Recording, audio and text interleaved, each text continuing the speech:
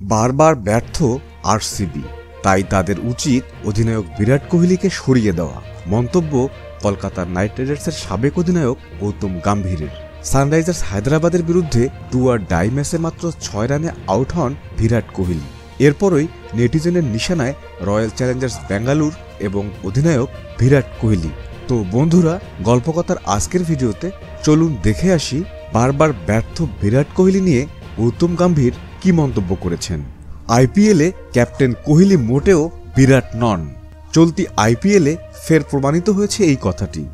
Sunrisers হায়দ্রাবাদের বিরুদ্ধে eliminator match হেরে টুর্নামেন্ট থেকে বিদায় নিয়েছে আরসিবি।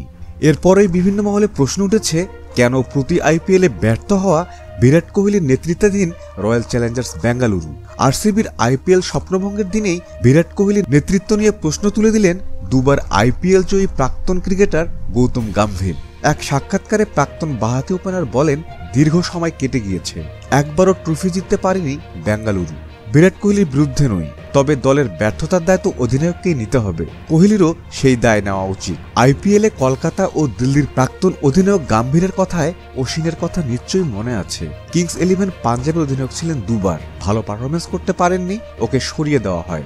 ধোনি, রোহিত শর্মা, বিরাট কোহলির কথা একসঙ্গে বলা হয়। এদের মধ্যে ধোনির নেতৃত্বে তিনবার আইপিএল চ্যাম্পিয়ন হয়েছে সিএসকে। রোহিত চারবার জিতেছে। এই কারণে কিন্তু ওরা এতদিন নেতৃত্ব দিয়ে গিয়েছে। রোহিত শর্মাও যদি আট বছর সাফল্য এনে দিতে না পারত, তবে ওকেও সরিয়ে দিত ফ্রাঞ্চাইজি। আলাদা আলাদা নিয়ম তো হতে পারে না। প্রসঙ্গত, গৌতম গাম্ভীরের নেতৃত্বে দুবার আইপিএল চ্যাম্পিয়ন হয়েছে কলকাতা নাইট রাইডার্স। দেশকে নেতৃত্ব দেওয়া কোহলি যে অনভিজ্ঞ নয়, সেটাও মনে করিয়ে দেন গাম্ভীর। তার কথায় ওকে রেজাল্ট দিতেই হবে, তা না হলে টিকে থাকবে না। তো বন্ধুরা, বিরাট কোহলির আইপিএল ব্যর্থতা নিয়ে সাবেক কেকেআর অধিনায়ক গৌতম গাম্ভীর ছিল এই মন্তব্য।